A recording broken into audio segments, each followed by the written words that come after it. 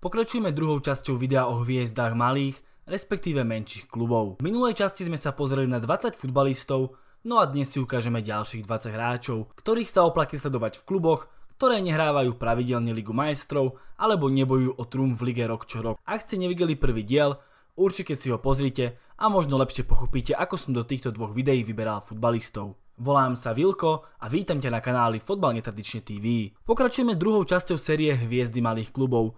To, akých hráčov tu môžete očakávať, sme si už ukázali v prvom videu. Zároveň sa pod prvým videom strhla diskusia, prečo tu je ten a ten, keď tento klub nie je úplne malý.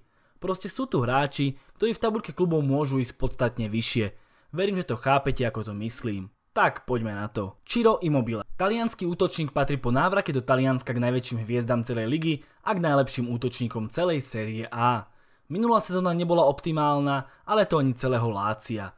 15 gólov je aj tak solidných, no 29 ešte z predošlého ročníku sú výnimočným počinom. Čirovi zjavne sedí talianský futbal najviac a aj preto by sa ešte mohol pokúsiť vo svojich 29 rokoch o level vyššie, aj keď možných top destinácií v Taliansku nie je až tak veľa. Po neúspechoch v zahraničí môžeme inú, ako taliansku ligu možno vylúčiť, ale nikdy neviete. Nabil Fekir, jeden z najzvláštnejších prestupov tohto leta.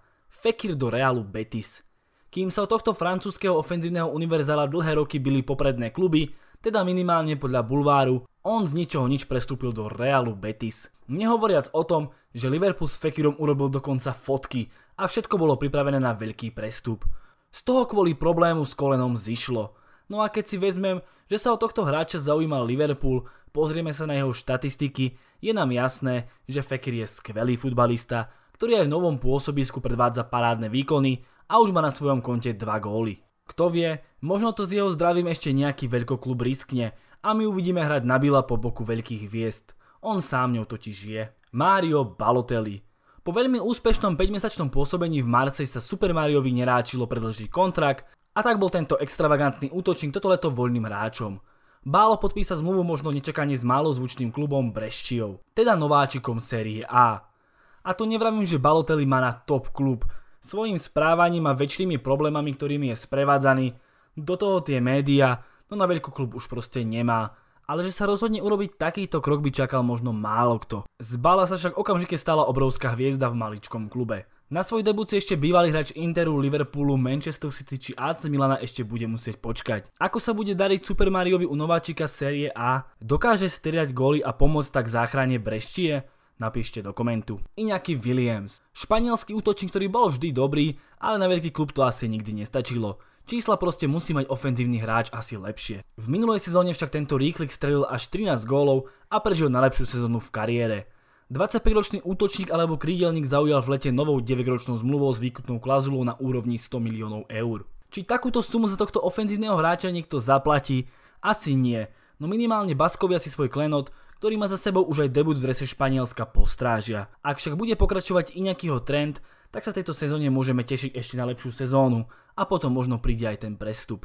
Uvidíme. Každopádne nejaký je veľkou hviezdou Bilbao. Duvan Zapata. Hviezda minulej sezóny, ktorá stojí za najväčším úspechom Atalanty v jej novodobej histórii, kvalifikácii do Ligy majstrov. Tá je pre tento klub niečím perfektným.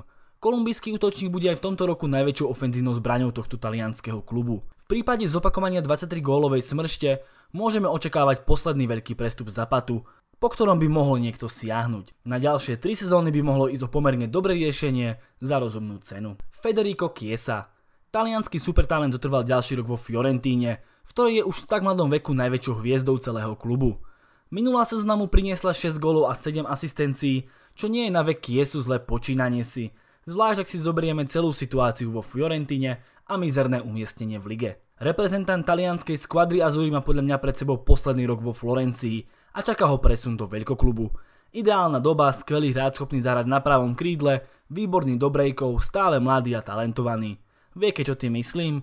Juventus alebo nič. Najlepší Taliani by mohli byť pre starú dámu prioritou, zvlášť v dobe, keď musia vyhodiť zo súpisky Ligy majstrov Čana s Mandžukičom, lebo nie sú Taliani. Každopádne späť ku Kiesovi, ktorý už tak mladom veku udivuje minimálne celé Taliansko. Ashley Barnes, jeden z najlepších útočníkov roku 2019, minimálne v Premier League. Vážne. Po druhom kole Premier League bol dokonca tretím najlepším strelcom Premier League za tento rok. To je Ashley Barnes. Nenávidený hráč asi všetkých fanúšikov, ktorí hrajú proti Barnley. Tam ho ale milujú. Drzý, odporný, otravný, ktorý bude zvádzať nekonečné množstvo ostrých súbojov. Či už vo vzduchu alebo po zemi. No a k tomu všetkému ide o hráča, ktorý tie góly v systéme Barnley, ktorý hraje presný opak moderného futbalu proste dáva a ešte asi nejaký ten piatok aj dávať bude. Hráč zaujímavý, do veľkoklubu asi nepoužiteľný, možno tak z lavičky ako variant číslo B, ak hráke do hlbokej stiahnutej obrany. Každopádne skvelý hráč a obrovská postava Barnley. Fabio Quagliarella, najstarší hráč v oboch videách. Talianský, 38-ročný veterán, ktorý sa v minulom roku stal ale najlepším strelcom celej série A. V 38 rokoch strelil 26 gólov a pridal aj 7 asistencií a prekonal tak svojim výkonom Cristiana Ronalda, Mertensa, Milika, Icardiho, OK ten mal problémy, ale aj Zapatu či Immobileho. V 38 rokoch. Neskutočný počin, ktorý ho zaradil do tohto zoznamu.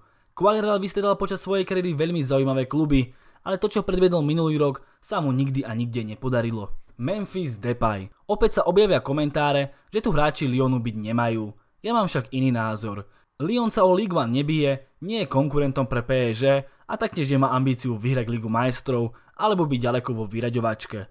Idú systémom vychovať, predať. Preto je Memphis tu. V holandskom PSV žiaril, prvom veľkoklube ale totálne vyhorel. Znovu na štartovanie prišlo až v Lyone, keď šiel Memphis o pár krôčikov dole. Za ten čas ale všetkým dokázal, akým skvelým futbalistom je a že mu pasuje aj post útočníka. Sezóny 17-18 a 18-19 boli fakt skvelými a aj táto nová odštartovala parádnymi streleckými výkonmi.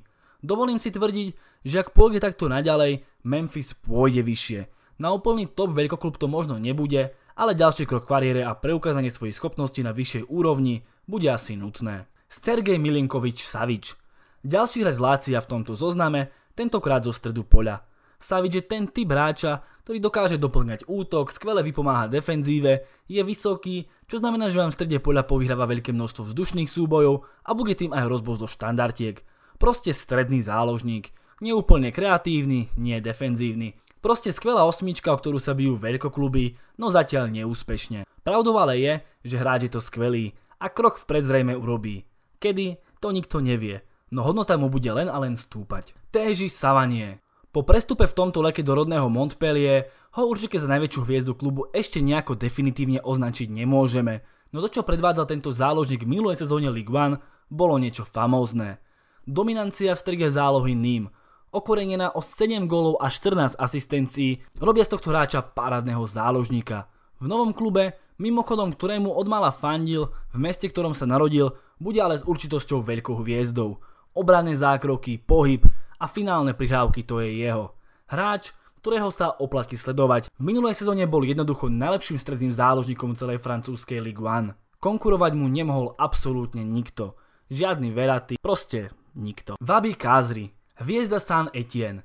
Hráč, ktorý začal v tomto francúzskom celku znovu zrodenie. V minulom roku začal nastupovať na pozícii hrotového osamoteného útočníka a z tohto postu zaznamenal 13 gólov a pridal aj 6 asistencií, čím sa stal najlepším strelcom celého klubu a jednoznačným ťahuňom ofenzívy tohto celku. Už to nie je ten priemerný krídelník zo Sunderlandu, svoje schopnosti však bude musieť Kázri ukázať aj tento rok. Zatiaľ mu to až tak nejde, no sezóna je ešte dlhá. Valentán Rongier Chcel som ho tu zaradiť ešte ako hráča Nant, no prestupový deadline zmenil moje plány, ale už ho odtiaľ nechcem vyhadzovať. Rongie nie je určite ingen po prestupe do Marseille jeho najväčšou hviezdou, no ide o skvelého stredového hráča, ktorý predvádzal v minulom roku fantastické výkony v strege poľa. Pre svojich spoluhráčov vytvoril až 2,5 šance na zápas a spolu s možno zaujímavejším Sevanierom patril k hviezdam minulej sezóny, značne nedocenenými. Ako si povedie s náročnejšou úlohou v Marseille uvidíme. Jago Aspas. To je meno veľmi dobre známe. To, že absolútne vyhorel v Liverpoole je jedna vec. Druhá vec je tá, že v Celta Vigo žiari naplno. Veď počas troch sezón strelil v La Lige 61 gólov, čo je neskutočné. A to hrala Celta stred tabuľky a v minulej sezóne dokonca o záchranu. Nebyť Aspasa, možno by v tomto roku už boli v nižšej súťaži. Jago je aj členom národného týmu a nutno povedať, že zaslúženie. Skvelý hráč, ktorý už hore asi nepôjde, ale hviezda je to veľmi veľká. Musa Dembele. Popri Depajovi tu máme ďalšieho člena ofenzívy Lyonu, ktorý postupne rastie a rastie a už v 23 rokoch ho môžeme označiť za ofenzívnu hviezdu tohto klubu. V debutovej sezóne za Lyon strelil 15 gólov a bol najlepším strelcom celého klubu. A treba povedať, že základe nastúpil len 21 krát. Čo bude predvádzať tento rok? No uvidíme, ale určite to bude vyššie číslo v sereckých tabuľkách. Útočník veľmi nadaný, schopný driblovať, o ktorého sa už toto leto údajne zaujímali popredné veľkokluby. Mikel Ojarzabal, ďalší Španiel v našom zozname a dosť možno budúca hviezda španielského národného týmu. Mikel bol členom 20 jednotky, vyhral z ňou majstrovstva Európy, no a v kvalifikačnom zápase z júna 2019 strelil svoj prvý gól za mužov. Útočník alebo ľavý krídelník prežil fantastickú minulú sezónu a keď bude takto pokračovať, čaká ho veľký prestup skutočná hviezda Realu Sociedad. Jonathan Tach, stalica nemeckého Bayeru Leverkusen, člen národného týmu Nemecka a to má len 23 rokov. Za Bayer odohral v tak mladom veku už 146 zápasov a je hlavným plierom obrany tohto celku. Vysoký stoper sa v tomto klube čo chvíľa vyhrá dostatočne a zamierí do ešte lepšieho klubu, na ktorý jednoznačne má. Len pre zaujímavosť, v minulej sezóne zaznamenal tak v jednom zápase 195 úspešných prihrávok z celkového počtu 202. Šialené. Rodrigo de Paul. Keď sa povie Argentína, napadnú vás hráči hrajúci v top kluboch. Udine im úplne nie je, ale aj napriek tomu v tomto celku pôsobí hráč, ktorý svoju krajinu reprezentuje. Je ním práve De Paul, ktorý hráva základ strge poľa Argentíny. Ofenzívny záložník prežil v talianskom celku parádny ročník. Šance vytváral, goly strieľal a bol hlavnou hviezdou tohto týmu. V aktuálnom ročníku vytvoril za dva zápasy v priemere na 90 minút a 6 šancí a to je riadny úlet. Čiže možno nejakých 12 šancí na zápas, ako dohral celé minútky. K tomu dobrý dribbling a zaujímavá strela z diálky. Nie zlá kombinácia. Usem Awar, posledný z trojice hráčov Lyonu v tomto zozname. Skvelý, stále mladý Usem Awar. Budúcnosť francúzského futbalu na pozícii čísla 8 aj keď má na tomto poste silnú konkurenciu v podobe Pogbu. Aj on však dokáže zahrať stiahnutejšiu osmičku, no viac mu sedí ten Pogbov post. V minulej sezóne zaznamenal 7 gólov a 7 asistencií, čo nie je na 20-ročného záložníka zlé číslo. Hráč, ktorého čaká veľká budúcnosť. Už teraz je však obrovskou hviezdou Lyonu. Daniel Parecho, 30-ročný stredný záložník, na ktorom stojí celá hra španielskej Valencie. Ak hrá dobre on, hrá dobre celá Valencia. Aj preto bol v minulom roku možno šokujúco spájaný s Barcelonou, ja dodám, že zaslúžene.